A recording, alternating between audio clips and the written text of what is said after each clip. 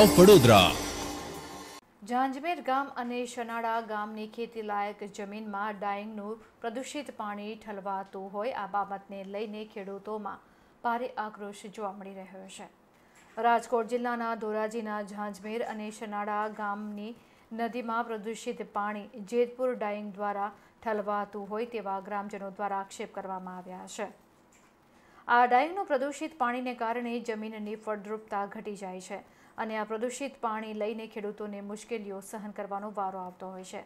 ત્યારે ઝાંઝમેર ગામ અને શનાળા ગામના આગેવાનો અને ખેડૂતોએ ખેતરમાં પ્રદૂષિત પાણી ઠલાવતા આવા માફિયાઓ વિરુદ્ધ કાયદેસરની કાર્યવાહી કરવામાં આવે તેવી માંગ કરી છે.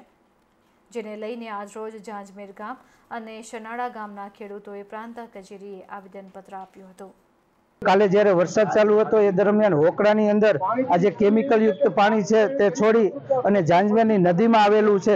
જે નદીનું પાણી અમે લોકો અમારા ગામની અંદર ઘર ઘર સુધી વિતરણ કરીએ છીએ. જેથી અમારા ગામની અંદર જે ચામડીના રોગો કેન્સરના રોગો વધી રહ્યા છે. જેથી અમે લોકો આજે ડેપ્યુટી સાહેબને આવેદનપત્ર દેવા આવ્યા છીએ અને અમે એમાં આવેદનમાં ઉલ્લેખ આપ્યો છે કે જો આ કારખાનું પચીસ તારીખ સુધીમાં બંધ કરવામાં નહીં આવે તો જાનમેન ગામ તેમજ સનાણા ગામ સંયુક્ત રીતે બંધ પાડી અને આંદોલન કરશે. અને આજે જે ખેડૂત છે, જે પોતાના ખેતરમાં જે વાવેતર કરે છે, ત્યારે તેમનો પાક નિષ્ફળ રીતે સુકાઈ જાય છે. જેથી આપ સાહેબને વિનંતી કરું છું કે આ કારખાની કારખાનું તાત્કાલિક બંધ કરવામાં આવે. આજે અમે જાનમેર અને સનાળા ગામના લોકો પ્રાંત અધિકારી સાહેબ ધોરાજીને રજૂઆત કરવા માટે આવ્યા છીએ કે સનાળા અને જાનમેરની વચ્ચે જે અનુરાગ પ્રોસેસિંગ નામનું કારખાનું છે, એના દ્વારા ગંદુ પાણી, સિલિકોટવાળું અને કેમિકલવાળું ગંદુ પાણી ડેમમાં અને નદીમાં છોડાઈ રહ્યું છે. સાથે સાથે જમીનની અંદર બોર કરી અને બોરની અંદર આ ગંદુ કેમિકલવાળું પાણી જઈ રહ્યું છે. જેને કારણે જમીનના તળ બગડી રહ્યા છે. ખેડૂતોને બે બે વખત વાવણી કરવી પડે છે ત્યારે પાક ઉગે છે.